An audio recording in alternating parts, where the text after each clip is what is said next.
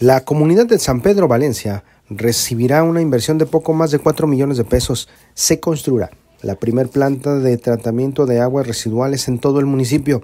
Una obra, dijo el regidor Edgar Santiago Viña Mejía, que sin lugar a dudas dejará un impacto importante en la delegación. En donde se aprueba una importante eh, obra que va a realizar el gobierno del estado en la comunidad de San Pedro Valencia alrededor de casi 4 millones de pesos, Alejandro, de inversión más para Valencia. Eh, una planta tratadora de aguas residuales que sería la primera en el municipio única en la región. Dijo que se vigilará también y se invitó a que el ayuntamiento tome cartas en este asunto para lograr identificar qué es lo que ingresa a la presa de San Pedro Valencia, principalmente en el tema de no contaminar más este vaso lacustre.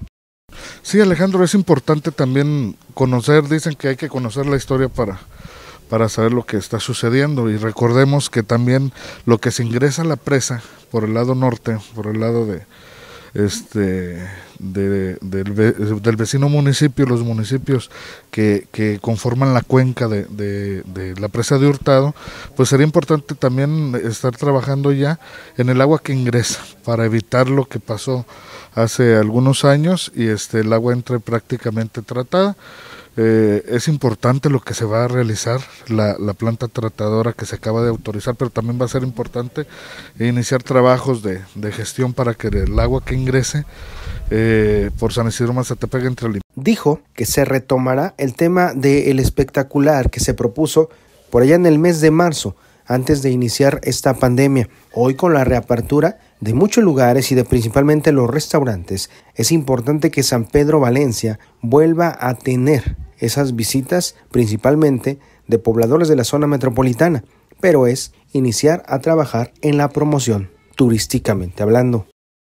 Se puede retomar, Alejandro, el espectacular sigue en pie, la persona que nos prestó la estructura y el espacio del lugar sigue en pie, entonces hay que mandar a hacer el, eh, eh, la lona, lo que viene siendo el espectacular, y reactivar la economía. De hecho, Valencia está afortunadamente, los invitamos a que visiten Valencia, condiciones muy agradables, ambiente totalmente familiar en todos los restaurantes, la comida riquísima.